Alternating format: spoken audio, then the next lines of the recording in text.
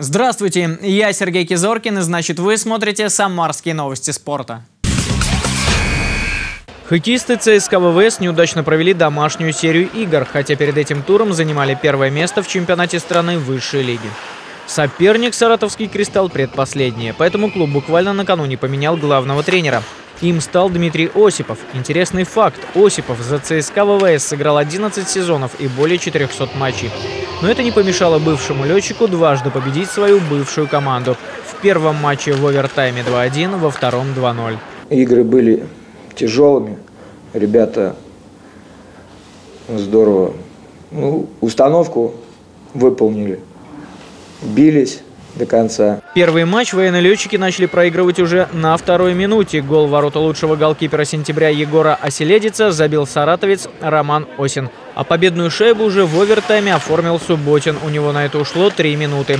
Вторая игра получилась тоже по футбольному результативной. Болельщики увидели всего лишь два гола. В исполнении, опять же, саратовского «Кристалла» во втором и в третьем периодах.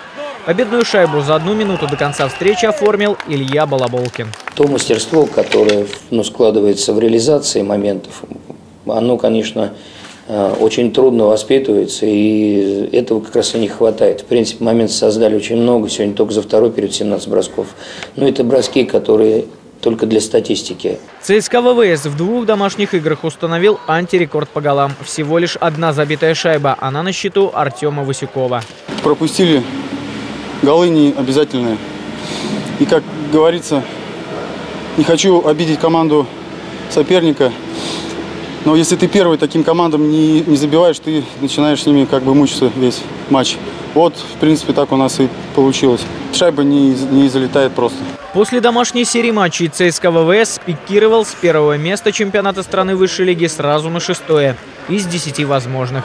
Лидерами вместо самарского клуба стали Саранская Мордовия и Ростов. У команд по 19 очков. Самара отстают на 3. Очередной соперник Челны из Татарстана. Матчи состоятся на следующей неделе в Ледовом дворце спорта. Это были новости спорта от Сергея Кизоркина. Будьте здоровы и занимайтесь физкультурой.